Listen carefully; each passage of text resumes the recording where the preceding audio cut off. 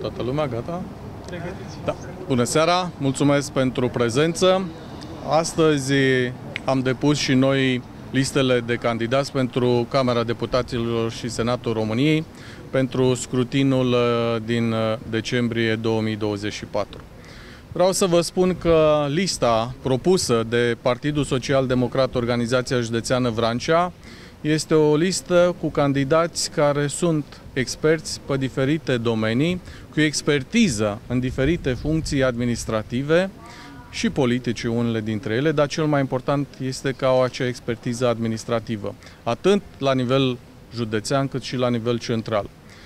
N-aș vrea acum să enumăr doar o parte dintre colegi, că îi putem enumera și pe toți, fără doar și poate, așa cum Uh, înțeleg că ați aflat între timp. Uh, la Senat uh, deschide lista domnul director al DSP, medic stomatolog Cătălin Graur. Pe locul 2, un om foarte experimentat și cu o vastă expertiză în administrația centrală, astăzi secretar de stat în Ministerul Educației, un profesor doctor, Florin Alexandru. Pe locul 3 uh, uh, avem uh, un economist, pe Claudia Eustafie și pe locul 4 un profesor de asemenea doctor, foarte expert în atragerea fondurilor europene, printre altele. Unul din motivele pentru care l-am luat și în echipa de consilieri județeni pe profesorul Antimirescu Ionel. La lista uh, de Camera Deputaților, deschiderea o face domnul ministru Angel Tâlvăr, care din păcate este la o interministerială în NATO la Bruxelles și nu a putut fi prezent fizic, dar transmite toate urările de bine și încredere și va veni în campanie și va spune și dumnealui ceea ce își propune organizația județeană și Partidul Social Democrat și la nivel național. Nu mai are nevoie, cred că, de reprezentare uh, nici măcar succintă domnul ministru Tâlvăr și cu experiența și cine este și mai departe, un om care fără doar și poate face cinste nu doar organizației județene, ci și județului Vrancea, mai ales prin mandatul extrem de complicat pe care îl are la Ministerul uh, Apărării Naționale și la care a făcut nu doar față, ci uh, a făcut foarte multă performanță în tot acest conflict uh, geopolitic de acum, nu mai doar uh, la nivel de, uh, vedeți, vecini Ucraina. Uh, locul 2 după aceea la Camera Deputaților este propus un medic veterinar, o tânără doamnă, Aniței Monica. Locul 3 îl avem pe un om foarte cunoscut, un alt vrâncean, care chiar dacă nu mai este în Vrancea fizic atât de mult, în continuare parte din viața mai degrabă personală, uh, din când în când, cam la două săptămâni, după cum mi-a spus, uh, vine la Focșani, e născut în Focșani uh, și în continuare are legătură aici. Este vorba de fostul ministru al tineretului Petrea Gabriel și fost președinte al tineretului social-democrat, cu o vastă experiență, un inginer în calculatoare, la Politehnică, unde profesează de mai mulți ani, dar și în foarte alte, multe instituții centrale.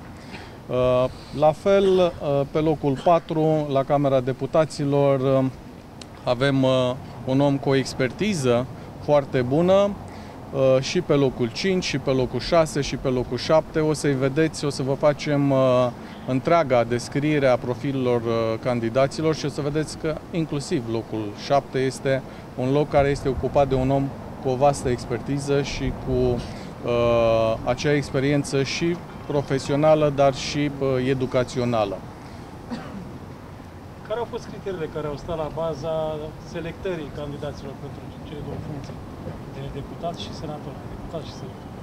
În primul rând a fost o selecție foarte riguroasă în rândul unor uh, uh, oameni din cadrul partidului și a organizației județene, dar și de la nivel național, cum îl avem pe Florin Alexandru, chiar dacă este pe un loc uh, neeligibil, de oameni cu expertiză, oameni care uh, să aibă o susținere după aceea a organizației și fără doar și poate să aibă și uh, acea uh, experiență profesională care nu poate exista fără uh, expertiza uh, educațională.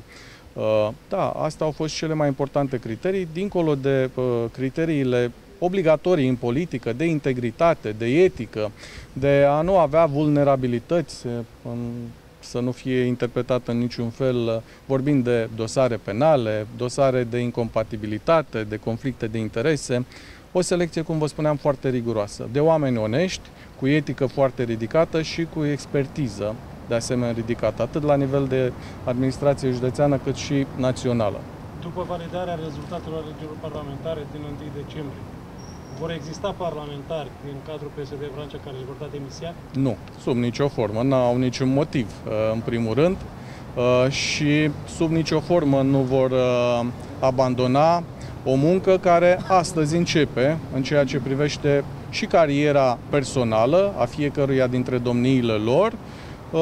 Da, înțeleg, o emulație pare să creat așa în ultimele ore, înțeleg și interesul și ne cerem scuze că am întârziat până în ultima zi, dar am zis că decât să ne grăbim și să venim așa doar cu niște nume pe niște interese partinice, e mai solidă și mai corectă o analiză și o rigurozitate față de vrânceni. Pentru că nu doar că ei ne vor alege, ei trebuie să fie cei care decid cine merită să meargă în Parlamentul României.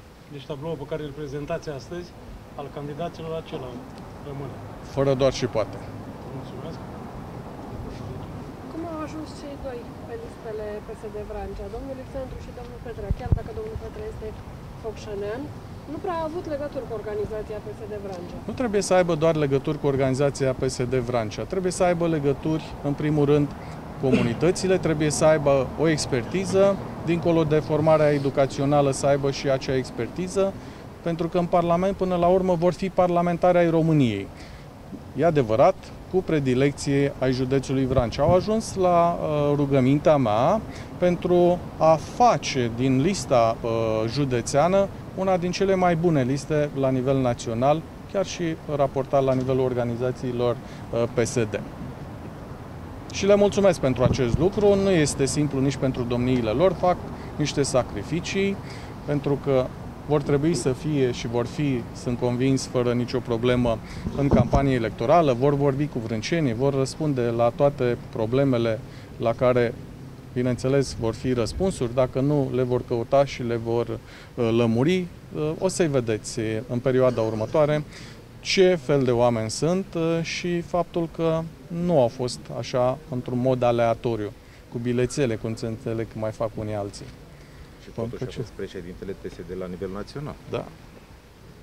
Legat da. acest lucru a existat uh, scenariu, vă mai întreb o dată de posibilitatea demisiei celor aleși, că uh, există posibilitatea retragerii unor uh, unor parlamentari și să facă loc celor impuși sau celor veniți de la centru. Bun.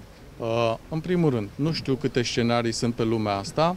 Noi aici nu facem scenarii. Noi scriem niște lucruri pe care venim și le spunem opiniei publice după aceea. E adevărat, ne consultăm în interiorul organizației, discutăm, uh, nu suntem uh, convinși, iar mai revenim, iar mai căutăm, iar mai analizăm, iar mai votăm și așa mai departe. De aceea nici nu ne-am grăbit, de aceea trebuie să stăm să facem această analiză riguroasă. Este exclus uh, un astfel de scenariu din partea PSD-ului. Dacă fac alții scenarii la adresa PSD-ului, să răspundă ei. Da, probabil că sunt foarte timorați de personalitățile care sunt pe lista uh, organizației județene, de profilul candidaților și atunci normal că intriga și uh, dezinformarea uh, încă mai funcționează, dar eu sper și am încredere în vrânceni că nu va funcționa la un nivel suficient încât să le uh, schimbe intenția de vot. S-au mai încercat astfel de scenarii, am văzut și la locale. O mulțime de scenarii, au mai fost, înțeleg, la fel tot felul de scenarii scrise de unii și de alții, cine va fi pe listă la PSD, cum vor veni impuși, n-a existat nicio impunere. Există uh, o democrație cu adevărat și socială și democratică la nivelul Partidului Social Democrat, atât la nivel național cât și la nivel județean nu s-a impus de la nivel național. Acum, dacă unii și alții și-au stat cu listele cu săptămânile sau cu lunile cât ori fi stat la nivel național după ce le-au decis la nivel județean, uh, po fi mai bine sau mai rău, uh, nu este problema noastră. Dar noi am trimis lista azi dimineață, la prânz a fost semnată și a venit înapoi la Vrancea în fizic. Adică nivelul național chiar n-a avut uh, nicio uh, interferență pentru că ai ceva. Noi decidem în cadrul organizației și bineînțeles și culegem ceea ce decidem în cadrul organizației și echipa națională va livra la fel, în funcție de rezultat.